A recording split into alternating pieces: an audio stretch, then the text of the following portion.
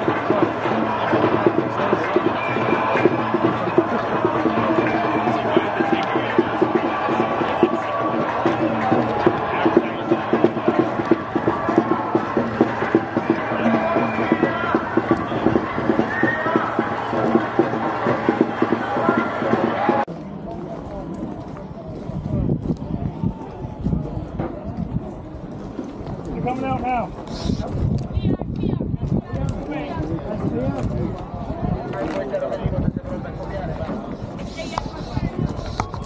let's do it. Can we move?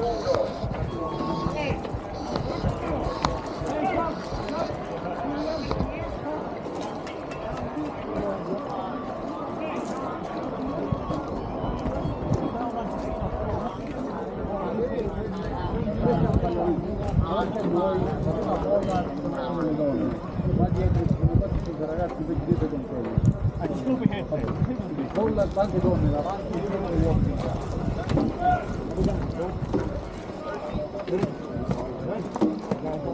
Yeah. Good. Good. Good. No, no, no, car.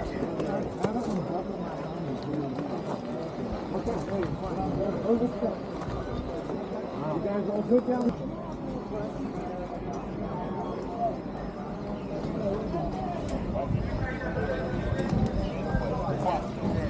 Пăstrăm formația acolo, frontul acolo, de unde ne întâlnim. Păstrăm formația, nu tot mesaj.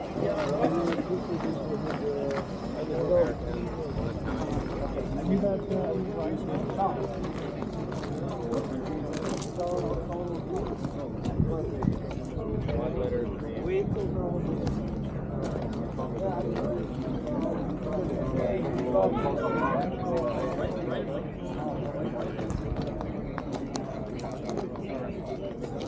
Outro abençoa, da mana feita. Da CPR.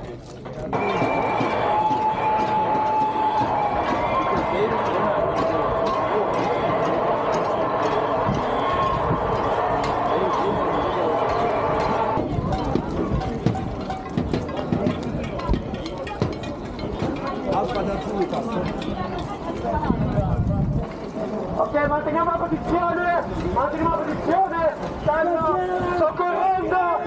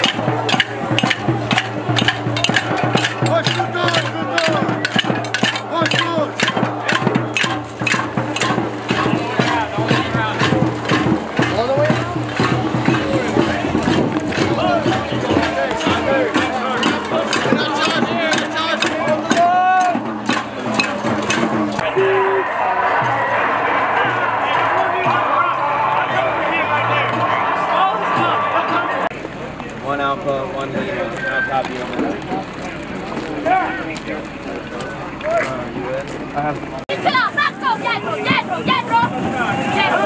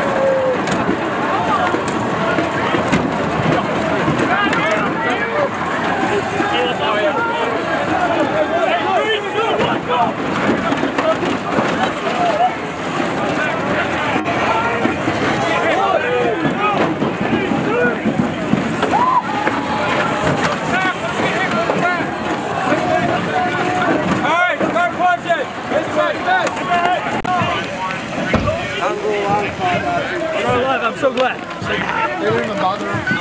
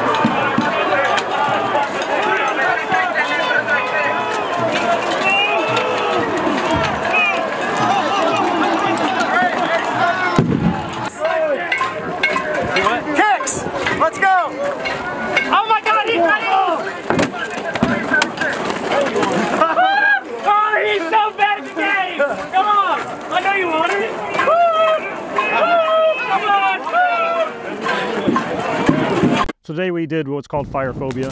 Basically, it's a civil disturbance Molotov cocktail defense training. Basically, soldiers are presented with a dry or, or not lit Molotov cocktail, and they're forced to use certain measures to mitigate getting burned or, or being injured by said Molotov cocktail. Then they move on to the live portion where live Molotov cocktails are thrown at them, and they use certain uh, measures with their uh, PPE or their riot gear equipment to extinguish the fire that's on themselves and then to assault uh, the objective that uh, threw the cocktail in the first place. For the beginning, they, they feel afraid. It's normal. But at the final, uh, we saw the the evaluation of what we receive and what what we gave. And at the final, we are sure that they uh, received the instruction and they are ready to apply. So as far as this training goes, it's very vital uh, to be able to quell a domestic disturbance that you may find anywhere uh, in the world. Uh, currently, uh, we work with our, our NATO partners uh, with this training. Uh, we have we have Portuguese that are facilitating the training, and then we have many other countries that are coming through receiving the training. I think the training that they're going to receive here is going to give their commanders that confidence uh, that they can go out into a real world situation and be able to quell any any unrest or any issues that may arise.